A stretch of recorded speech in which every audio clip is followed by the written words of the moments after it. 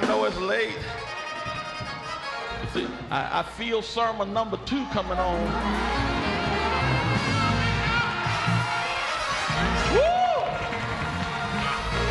All I say about it now is what Jeremiah said.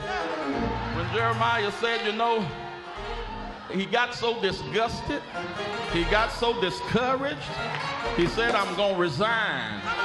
I'm going to quit. I'm going to give it up. But the next thing they found him back up at the church house again. Somebody said, Jeremiah, I thought you said you were going to give it up. He said, I did say that. But when I tried to stop, thy word was like a fire shut up in my bone.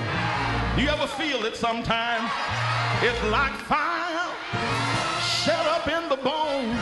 It's like a wheel.